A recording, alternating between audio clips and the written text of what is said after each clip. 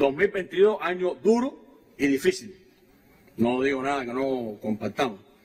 Se mantienen las medidas de reconocimiento del bloqueo.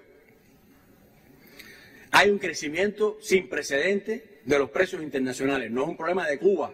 Hay solo que leer la prensa y las noticias que circulan hoy en el, en el mundo y el enorme desafío que tienen muchos gobiernos para enfrentar también la inflación.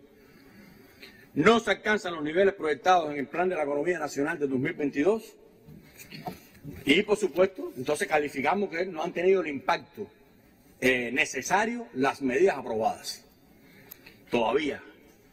Y ratifico que uno de los elementos que está impidiendo alcanzar mejores resultados, el elemento principal que lo está impidiendo, más allá de nuestros problemas organizativos, es la divisa. Muchas cosas las tenemos previstas, aprobadas, consensuadas y no las podemos hacer con toda su magnitud porque no tenemos los recursos. Como parte de las conversaciones también con el presidente Xi Jinping, trascendió eh, un, donativo de la parte de China hacia nuestro país en el orden de los 100 millones de dólares que utilizaremos, por supuesto, en prioridades de nuestro, de nuestro pueblo para, para las cuestiones más básicas que están vinculadas con, la, con nuestra población